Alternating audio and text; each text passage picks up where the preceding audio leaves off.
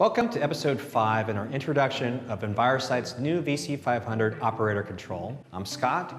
In this episode, we'll learn how to overlay text information and graphics on inspection video. The VC500 lets you store specific configurations for your on-screen display, OSD for short, in profiles.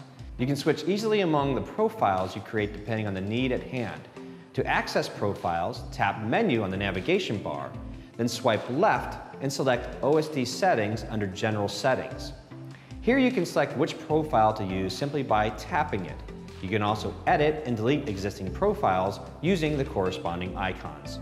To create a new profile, simply copy an existing one, rename it, and modify it. Then open the OSD settings pool by tapping the button second down from the left. Here you'll see six categories of overlay elements arranged by tabs.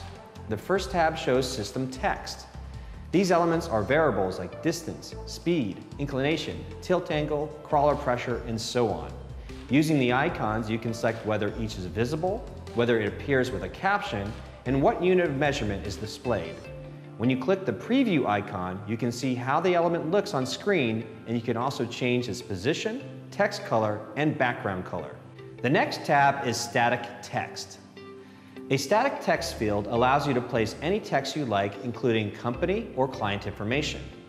The next over is Inspection tab. This allows you to insert inspection-specific data and is available only when a standard project is open. The Free Picture tab allows you to insert a logo or other image. The Free Text tab allows you to determine where free text appears, for how long, and in what colors. Free text is an easy way to make passing annotations on video as you inspect. Lastly, the General Settings tab allows you to change the default text color, background color, and transparency, plus a few other settings.